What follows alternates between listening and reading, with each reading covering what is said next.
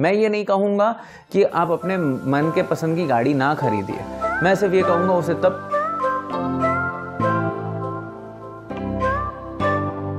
Hello and नमस्ते paycheck pros मैं हूँ मनीष और ये है पेचेक टू प्रॉफिट इंडिया का पहला यूट्यूब चैनल जो आपके साथ बात करता है आपके ही फाइनेंशियल फ्रीडम के बारे में। इस चैनल पे मैं नए वीडियोस बनाता हूँ फोर्थ फोर्टीन और ट्वेंटी तारीख को और ये वीडियोस में बनाता हूँ हिंदी और इंग्लिश में ताकि आप अपने लैंग्वेज प्रेफरेंस के हिसाब से ये वीडियोज़ देख सके।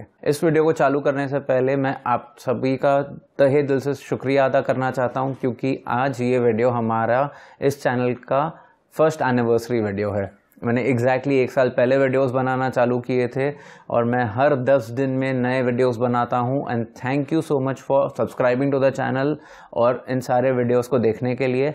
अगर आज आप पहली बार इस चैनल पे आए हैं तो प्लीज़ मेरी इस डेडिकेशन को देखकर, इस वीडियो के कॉन्टेंट को देखकर ज़रूर इस चैनल को सब्सक्राइब कीजिएगा और बेल आइकन को दबाना ना भूलिएगा ताकि आपको आने वाले हर वीडियोज़ का इन्फॉर्मेशन आता रहे नोटिफिकेशन आता रहे। Paycheck to profit as a channel का पर्पस ही ये है ताकि मैं इन वीडियोस के साथ आपके साथ बात कर सकूँ और आपको बता सकूँ कैसे आप अपने पैसों को इन्वेस्ट कर सकते हो ग्रो कर सकते हो और अपने मेहनत से कमाए हुए पेचेक से सैलरी से अपना फाइनेंशियल फ्रीडम कैसे पा सकते हो। इस वीडियो में मैं आपके साथ बात करूँगा ऐसे पाँच तरीकों के बारे में जिससे बैंक्स और फाइनेंशियल इंस्टीट्यूशंस ने आपको लोन्स की आदत लगा दी है। तो चलिए बात करते हैं पहले टॉपिक के बारे में जो है इलेक्ट्रॉनिक्स क्या आपने कभी एक पचास, साठ, सत्तर, अस्सी हज़ार रुपये का फ़ोन ख़रीदा जिसकी आपको ज़रूरत नहीं थी और आपने ये ख़रीद लिया क्योंकि वो एक अच्छी डील में मिल रहा था, अच्छे ईएमआई स्कीम पे मिल रहा था? इलेक्ट्रॉनिक्स एक ऐसी कैटेगरी है जो बहुत टेम्पटिंग है लोगों के लिए। एक अच्छा फ़ोन खरीद लेना जो लाख, सवा लाख, आजकल तो डेढ़ डेढ़ लाख रुपए के फ़ोन्स मिलते हैं। एक सवा लाख रुपए का फ़ोन खरीद लो, क्रेडिट कार्ड स्वाइप कर लो और आने वाले पंद्रह महीनों के लिए, बारह महीनों के लिए ईएमआई भरते रहो। ऑल दो ये प्रैक्टिकल लग सकता है लोगों को, लेकिन मेरे पूछने का मतलब है, क्या ये ज़रूरी है? दूसरा एक्सपेंस ऐसा है जो बहुत कॉमन है और आने वाले टाइम में और ज़्यादा कॉमन होने वाला है, वो है शॉपिंग मॉल्स और डिपार्टमेंटल स्टोर्स में भी ईएमआई का कॉन्सेप्ट आ गया है। ये कॉन्सेप्ट अभी थोड़े साल पहले चालू हुआ था ऑनलाइन सेल्स के चक्कर में। आज की तारीख में जो हमारे कंट्री में दो मेजर वेबसाइट्स हैं ई कॉमर्स की, वो हर तीन चार महीने में कोई ना कोई सेल निकालते हैं और उस सेल के टाइम पे आप जो चाहे खरीद सकते हैं ई एम पे। इसी कॉन्सेप्ट को अभी मॉल्स शॉपिंग मॉल्स और रिटेल स्टोर्स लेकर आ गए डिपार्टमेंटल स्टोर्स लेकर आ गए। कॉन्सेप्ट वही है। क्यों आपको पंद्रह या बीस हज़ार के एक्स्ट्रा कपड़े खरीदने हैं? ओनली बिकॉज़ आप उन्हें ई e पे खरीद सकते हो। आप उन्हीं कपड़ों को या उनके जैसे ही किसी दूसरे कपड़ों को तीन महीने बाद छः महीने के बाद खरीद सकते हो। तीसरा तरीका है, जो सबसे ज़्यादा कॉमन है, वो ये है कि ठीक है, आपने शॉपिंग मॉल में या डिपार्टमेंटल स्टोर में कुछ भी ईएमआई पे नहीं खरीदा, आपने अपना फ़ोन ईएमआई पे नहीं खरीदा, आपने बीस हज़ार का ही फ़ोन खरीदा, लेकिन आपने स्वाइप किया आपका डेबिट या क्रेडिट कार्ड और इमीडिएटली आपको एक दिन में फ़ोन आ जाएगा कि सर कॉन्ग्रेचुलेशन आपने ये चीज़ खरीदी है इतने रुपये की। और अगर आप चाहें तो इस अमाउंट को आप ईएमआई में कन्वर्ट कर सकते हैं। ये सिर्फ़ एक तरीका है ताकि बैंक्स आपको पहले ज़ीरो परसेंट ई का लालच देंगे, फिर थोड़ा टाइम जब आपको आदत हो जाएगी तो फिर वो zero percent one percent two percent three percent five percent ten percent तक बन जाएगा। एक बार किसी को आदत लग गई तो फिर वो आदत निकालना मुश्किल है।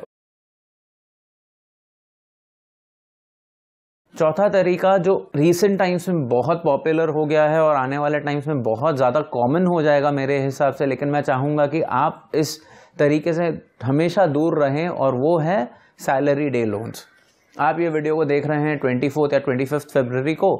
फेबररी में तो खैर सिर्फ़ चार या पाँच दिन बचे हैं। महीना ख़त्म होने के लिए समझ लीजिए आप ये मई में देख रहे हो। मई में थर्टी वन डेज़ होते हैं। तो आपके पास और सात दिन बचे हुए हैं और क्योंकि it is the end of the month आपके पास बहुत कम पैसे बचे हुए हैं। खास इसी समय के दौरान आपको आपके सोशल मीडिया पे एक ऐड दिखेगा। कि आपको मिलेंगे दस हज़ार रुपये आपके बैंक अकाउंट में इमीडिएटली और आपको पहली तारीख को देने होंगे दस हज़ार दो सौ रुपये हमारी कंपनी को वापस। ये दो सौ रुपये हैं आपका इंटरेस्ट ये दस हज़ार रुपये है आपका प्रिंसिपल लोन अमाउंट ये जो कंपनियाँ हैं, ये आजकल देती हैं आपको सैलरी डे लोन्स ये वापस एक तरीका है आपको लोन्स के आदत डलवाने का। ये सारी कंपनियाँ चाहती हैं कि आप ज़्यादा से ज़्यादा लोन्स लें क्योंकि इंटरेस्ट में पैसा कमाना और लाइफस्टाइल लोन्स देना सबसे आसान तरीका है लोगों को टेम्प्ट करने का।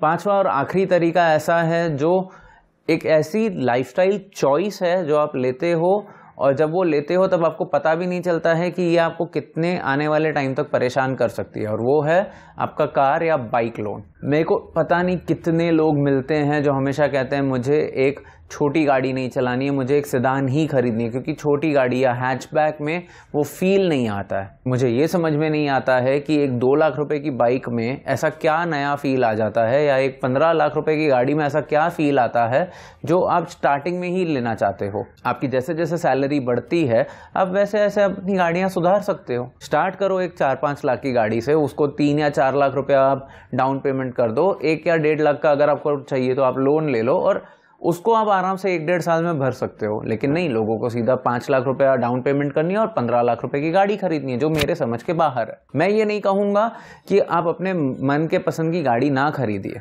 मैं सिर्फ़ ये कहूँगा उसे तब खरीदिए जब आप उसे ज़्यादा अच्छे से अफोर्ड कर सकते हैं। और अगर आप डिपार्टमेंटल स्टोर से भी ईएमआई पे चीज़ें खरीद रहे हो, अगर आप एक डेढ़ लाख रुपए का फ़ोन भी ले रहे हो, वो भी लोन पे है, अगर आप सैलरी डे लोन्स भी ले रहे हो, और अगर आपको फिर भी पंद्रह लाख रुपए की गाड़ी खरीदनी है तो आगे जाके आपसे सिर्फ़ दो लोगों को फ़ायदा होगा, वो है एक बैंक और एक है बैंक के इन्वेस्टर्स आप क्यों किसी और का फ़ायदा कराना चाहते हो? पहले खुद का फ़ायदा करो, अपने इन्वेस्टमेंट्स पे ध्यान दो, अपनी फिनेंशियल ग्रोथ पे ध्यान दो, और ऑटोमेटिकली जब आपके इन्वेस्टमेंट्स के ग्रोथ से आपको इतना पैसा मिल जाए कि आप आराम से पंद्रह लाख रुपए की गाड़ी भी खरीद सकते हो, तब खरीद लेना। मैं आशा करता हूँ आपको आज का वीडियो पसंद आया होगा। अगर आपको आज का वीडियो पसंद आया तो प्लीज़ लाइक कीजिए और सोशल मीडिया पे इसे शेयर करना ना भूलिएगा।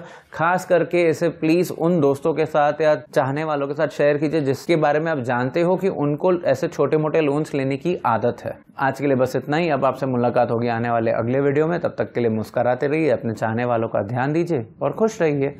cutting